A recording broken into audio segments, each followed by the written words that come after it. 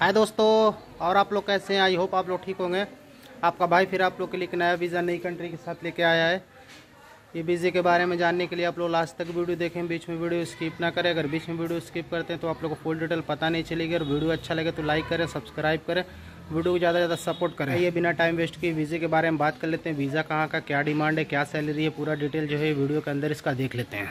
And requirement for Maldives ये मालदीप की demand है और एक ही ट्रेड है इसके अंदर। ये हेल्पर की डिमांड नहीं है ट्रेड की डिमांड है। एक ही पोजीशन इसमें A C technician good experience Indian experience accept कर रहा है। ऐसा नहीं है कि इसमें जो है गल्फ का या बाहर का एक्सपीरियंस मांगा है। इसके अंदर जो है इंडियन एक्सपीरियंस एक्सेप्ट कर रहा है। तो इसमें सैलरी जो है चार सौ डॉलर सैलरी है।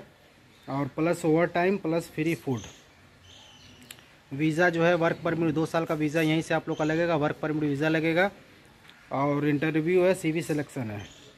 ड्यूटी दस घंटा है इसकी, और कॉन्ट्रैक्ट जो है, दो साल का कॉन्ट्रैक्ट है। टाइम जो है प्रोसेसिंग टाइम जो है, एक महीने का प्रोसेसिंग टाइम इसके अंदर है। और ड्यूटी जो है इसकी, दस घंटा ड्यूटी दिया गया भाई, इसके अंदर दो घंटा ओवर दो घंटा ओवर टाइम आपका इसके अंदर फिक्स है। तो आराम से सैलरी तो आपकी बत्तीस हज़ार सैलरी है, प्लस खाना भी इसके अंदर है, रूम वूम सब कंपनी इसमें सबसे अच्छी चीज़ ये है ना भाई कि एकोमोडेशन भी है ट्रांसपोर्ट भी है मेडिकल भी है फ़ूड भी है, सब कुछ इसके अंदर फ्री है। तो आपका पूरा जो है ड्यूटी के हिसाब से, दस घंटे ड्यूटी रहेगा ड्यूटी के हिसाब से ओवर टाइम भी नहीं है तो आप लोग का जो है बत्तीस हज़ार सैलरी जाएगी। तीस हज़ार, बत्तीस हज़ार सैलरी आपकी जाएगी यूएसडी डॉलर की है एट्टी टू एट्टी वन चल रहा है। और आपका अगर ओवर टाइम मिलता है, दो घंटा भी ओवर टाइम आप लोग का मिल गया तो ये चालीस हज़ार तक आराम से सैलरी पहुँच जाएगी। अगर आप लोग मान के चलिए सैलरी के ऊपर डिपेंड होकर जाइए।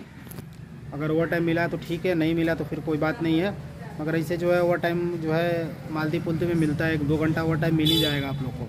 और नहीं भी मिलेगा तो तीस हज़ार फ्रेशर के लिए तीस हज़ार सही है।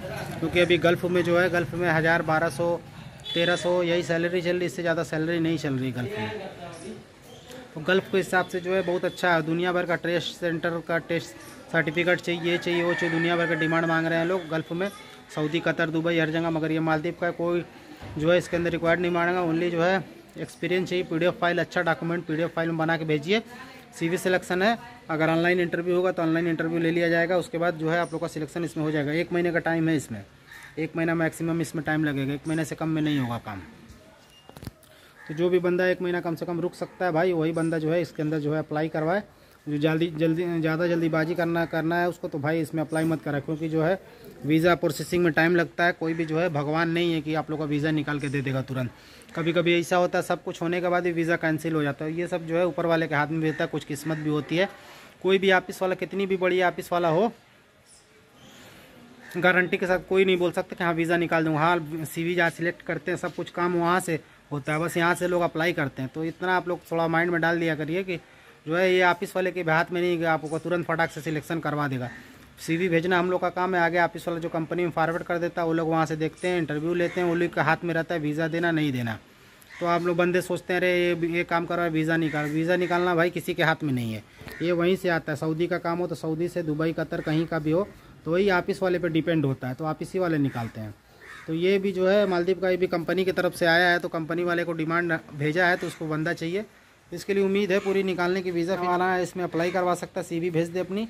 उसका जो है सिलेक्शन इसके अंदर अगर होना रहेगा तो हो जाएगा, नहीं होना रहेगा, नहीं होगा, क्योंकि दोनों बात मैं बोल देता हूँ। कोई गारंटी नहीं कि सिलेक्शन आप लोग का हो ही जाएगा हंड्रेड परसेंट काम, अपना काम है सीवी भेजना, और आगे जो है ऑफ़िस वाले का काम है, आगे फॉरवर्ड कर देना कंपनी का हाथ में है, अगर वो सिलेक्शन करे या ना करे।